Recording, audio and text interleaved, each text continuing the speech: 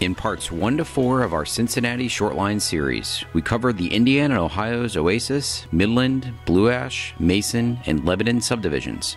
We also covered the Cincinnati East Terminal Railway. In part 5 of our Cincinnati Shortline series, we'll cover the Central Railroad Company of Indiana's CI&D Brookville subdivisions.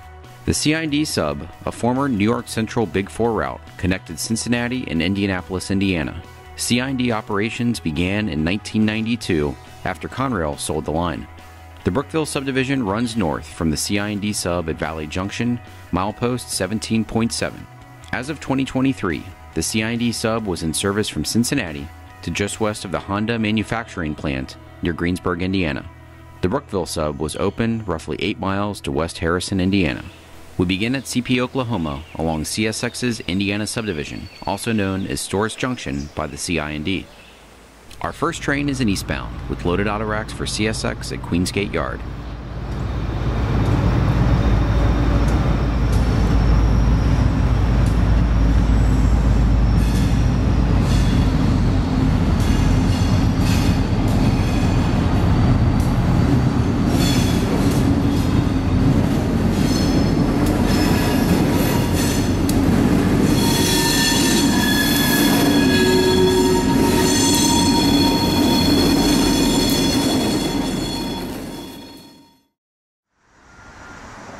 Moving west, we're at Idaho Street near Riverside Park.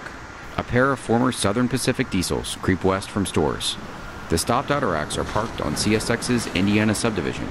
The Indiana and CIND subs run parallel along the Ohio River for approximately 14 miles, beginning at CP Oklahoma and continuing west to North Bend, Ohio. Here at Idaho Street, CSX and CIND constructed a crossover. This allows autorack trains to be interchanged without the need to run into Queensgate Yard.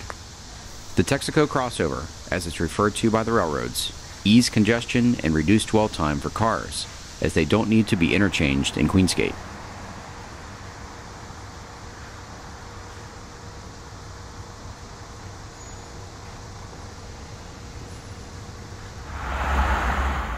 Continuing a mile west, we see a couple empty westbounds heading for Honda Greensburg.